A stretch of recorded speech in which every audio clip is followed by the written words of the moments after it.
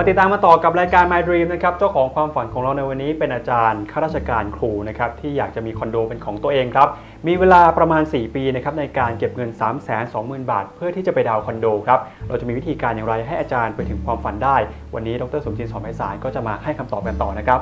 ครับผมครับก็สำหรับ My Dream ของอาจารย์อธิพลนะครับที่จะดาวคอนโดนะครับซึ่งมีมูลค่าสักแสนหกแล้วก็จะเตรียมเงินสัก 20%คือ 3 2 0 0 0เราสามารถที่จะเข้ามาในระบบ My Dream ของบลจทหารไทยนะครับ ก็เข้ามาที่ w w w t m b a m c o m ครับนะครับ เสร็จแล้วก็เข้าสู่ระบบ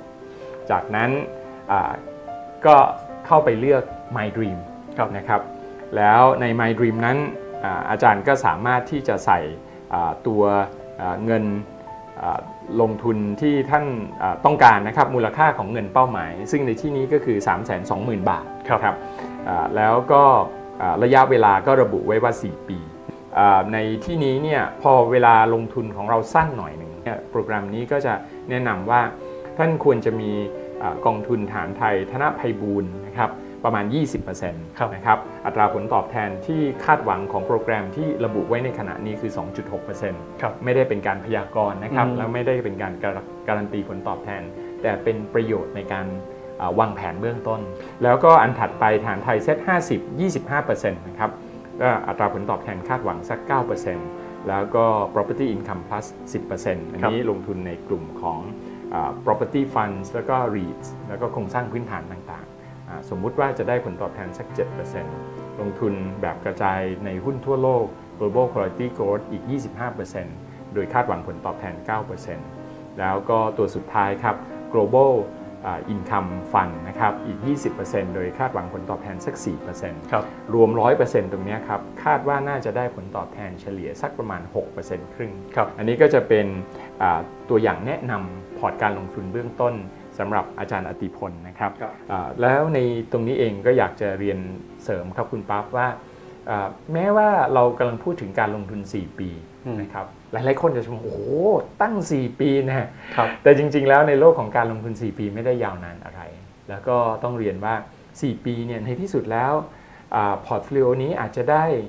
มากกว่าหรือน้อยกว่า 6.5%ก็ได้ครับเพราะว่ามันเป็นสิ่งซึ่งไม่แน่นอนอืมแต่อย่างน้อยผมมีความเชื่อว่า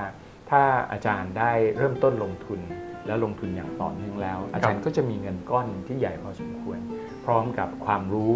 ความเข้าใจในความอ่าผันผวนและความผลตอบแทนของการลงทุน และบางครั้งถ้าหากว่าถึงตอนนั้นอาจารย์ยังไม่ได้3 2 0 0 0 0อาจารย์อาจจะต้องลงทุนนานอีกครึ่งปีครับอีกปีหนึ่งแต่ในที่สุดผมเชื่อว่าวิธีนี้เป็นวิธีที่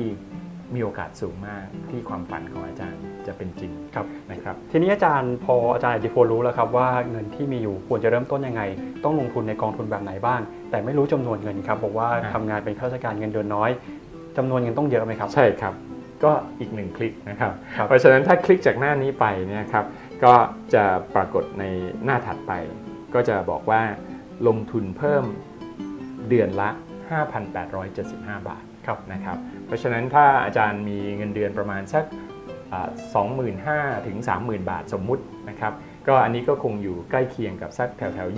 20%ของอาเงินเดือนที่อาจารย์จะได้ แต่ผมไม่แน่ใจว่าครับรายได้ท่านท่านอาจารย์เป็นเท่าไหร่ แต่ว่าอันเนี้ยก็จะอยู่ประมาณอย่างนี้ยครับ แล้วก็ผมเองมีความเชื่อว่า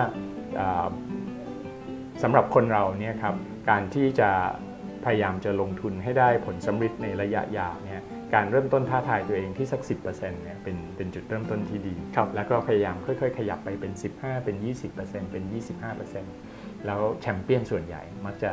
อาออมได้ถึงประมาณสักครึ่งหนึ่งของรายได้ แต่อันนั้นเป็นเป้าหมายระยะยาวอ่าตอนนี้เริ่มต้นอย่างนี้ก่อนนะครับถ้าหากว่าท่านทำได้อย่างนี้เนี่ยครับความฝันของท่าน ผมเชื่อว่าจะเป็นจริงได้ไม่ยากจนเกินไปครับ